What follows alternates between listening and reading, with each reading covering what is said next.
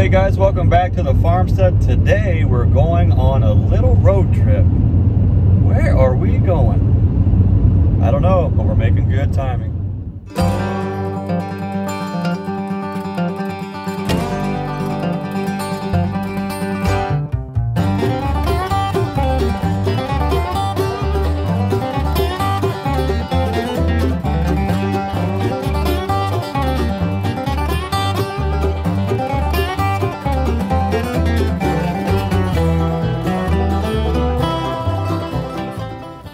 Just walking into Mann Lake here and uh, Susie gave me a little bit of budget.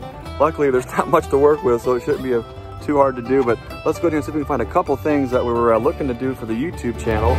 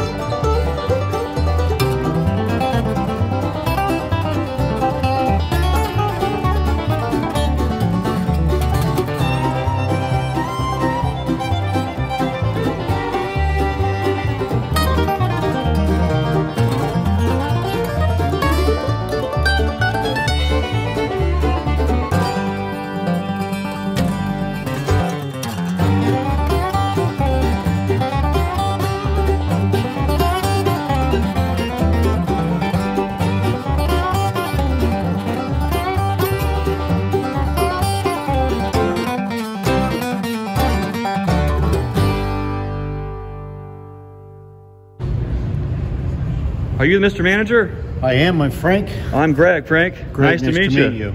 Welcome to Mann Lake, Pennsylvania. Well, thanks, Frank. This is my first time uh, here at the at the Mann Lake. Uh, most folks want to ask, how in the world do you actually say the name of this town? Wilkes-Barre. Wilkes-Barre, not Wilkes-Barre, not, Wilkes-Barre. Wilkes-Barre. Wilkes-Barre. So now, now you know. Well, Frank, this is the first time in here. Uh, maybe show me around a little bit on, on things that you guys you think you guys do well, especially here in Wilkes-Barre. Well, if you take a look down here in the store, we've got pretty much everything laid out in where it makes sense. Like products, who like products. You know, with be, our, be it our suits and veils and jackets, down to our glass and our woodenware. And of course, being the largest beekeeping supply company in the world, we're well stocked. Even with the uh, supply shortage we've seen, we, we tend to have a good supply on hand for our customers. We like to lay it out so we've got, say, medications, feeds, things like that all in one spot. And then, of course, you've got your woodenware. We have our 10 frame on one side, our 8 frame on the other.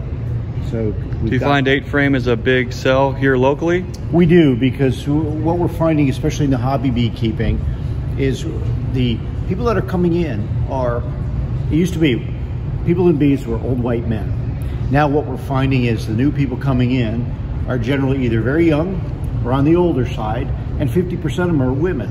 And anybody that's in beekeeping knows there's a lot of weight to, to the hives and the hive bodies. So we encourage people that are doing this as a hobby. Make it a fun hobby, don't make it work. So we push them toward an eight frame if they think they can't uh, handle the weight of a 10 frame. And we find that the bees do just as well in, in eight frame equipment as they do in 10 frame. If um, folks can get in those boxes and are more comfortable working it, there's a good chance that the bees are going to do a little better too. True. They'll go in their hives more often and do what they need to do when they need to do it rather than saying, I don't feel like going out there and lifting that weight today. If it's a comfortable thing, they'll go out and they'll work that hobby and, and you know, have fun with it, which is the whole goal for 90% of the people that are doing the hobby beekeeping side.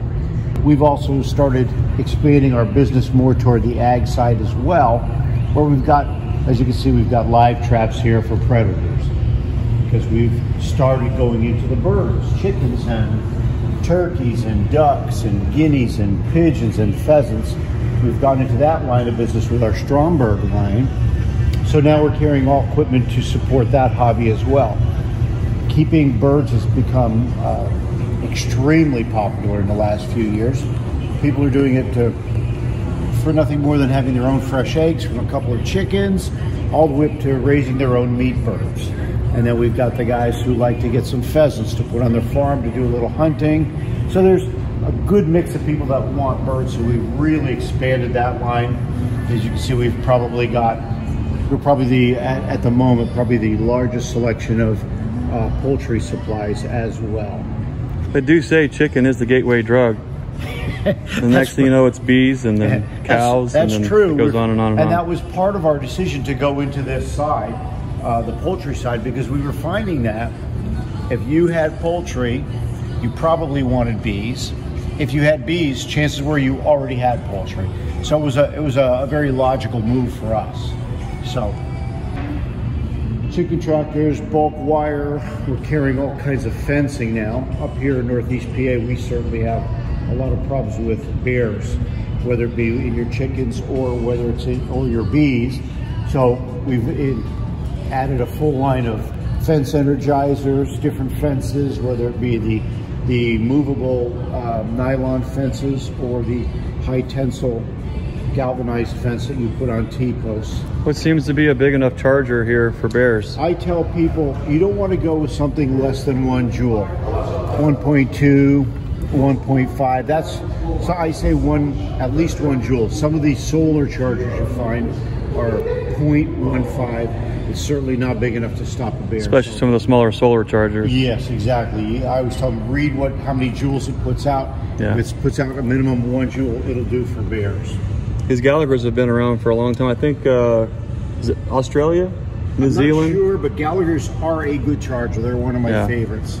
Kenco makes a good one. Gallagher makes a good one.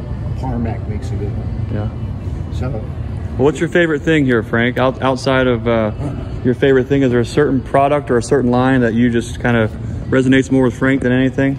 Um, no, I like them all. I do birds. I do a lot of bees. I run about 140 colonies. Okay. As a hobby, so I like everything here. Yeah. I always find that uh, if I need something, guaranteed to have it here, and makes my beekeeping or my poultry keeping much easier. Frank, do you manage the colonies out back? I do. Um, I've got right now probably 30 some colonies out there. I haven't been in them yet this year. I heard that the wind blew some over last night. I haven't been out there to fix them yet, but I got to get out there. Been too busy, so I'm waiting to get in there the next nice day. I hope to get in and see what I look like coming into spring with those colonies. Any indicators of what this area is looking like right now as far as overwintered? I've heard that it's pretty good so far from the people seeing their hives. They're starting, Okay. the bees are starting to run out of feed. They're getting near the top of that colony, so a lot of people are coming in and picking up a winter patty or a fondant or Yeah. you know put some dry sugar on there. It's a bit too early for ProSweet, but in another couple of weeks, ProSweet will be the ticket, and we generally sell a lot of that in the springtime. Does a quick buildup of your bees. Okay. Frank, thanks again for taking time to uh, show us around. If folks want to find you guys, they can go to mannlake.com. Mannlake.com, or you can uh, just show up at 45 Stewart Road, Wilkes-Barre. We'll take care of you. Wilkes-Barre. Wilkes-Barre. You heard it here first. Thank you. Thanks a lot, Frank. Yep. Bye. Thanks for all your help. Of course. This episode is brought to you by Nature's Image Farm. If you're interested in nucs, packages, queens, or supplies, visit us on the web at naturesimagefarm.com. Well, that was a really fun trip. We got everything we needed. We got some pollen sub, we got some soft patties, we got a couple totes of ProSweet, even a little Hive Alive thing. We're to mix a bunch of things up, do a bunch of little different trials. Maybe we'll do some pollen sub trials, some one-year-old Ultra Bee stuff with some brand new Ultra Bee stuff, homemade patties versus uh, the pre-boxed patties. Um, I think we did pretty good. Also, maybe we'll do some fun stuff with some mating nucs, trial out some different sizes and see what kind of queen quality you have, how long it takes for them to plug out. Who knows? Just a bunch of fun stuff. But we're on the way back home and I am starving uh, and we need fuel. Susie has me on this keto diet, but if you don't tell her, I don't think she watches these videos. I'm gonna run into the Sheetz gas station and get something that I've got a little bit of a well weakness for. That, well, oh man, look at the price of fuel. Check this out. Look at that. 545 for diesel. Is that crazy or what? Today I actually seen it for 591. 591.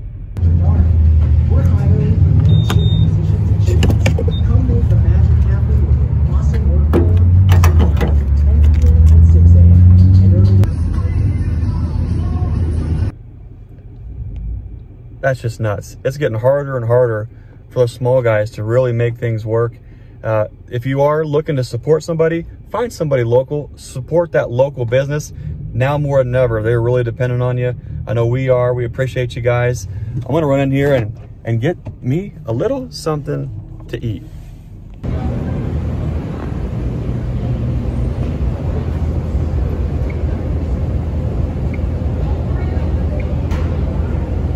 Okay, what's it gonna be? What is my weakness? About... They don't have them anymore. Where's those tacos? Tacos, tacos, tacos, tacos. No tacos. Need more time? No. I need them dang tacos. Okay, maybe there's been some kind of terrible misunderstanding. Oh man, that's terrible. Well, I guess we're gonna go with quesarito. How about with, um, oh, I'm not even in the mood now. I don't even know what to pick here. Well, that's terrible. No tacos. trying to be sneaky. No tacos. I guess we're gonna have to settle for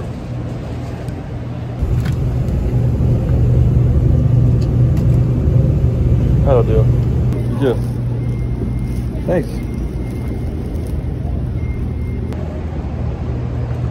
Well, you didn't come here to watch a hot dog eating contest. Maybe tacos, but sadly, to disappoint you, but no tacos, dang it. Well, we're gonna get back in the truck. We're gonna eat this dinner. We're gonna get on the rest of the road. Hey, thanks for watching. Hope you enjoyed the video. And as always, remember, be the lighthouse and be the change you wanna see in this world. We'll see you next time.